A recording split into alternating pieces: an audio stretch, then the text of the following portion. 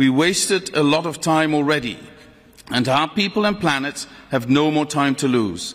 We pledge to pick up speed again, starting now and here, and regain the momentum we had in Glasgow.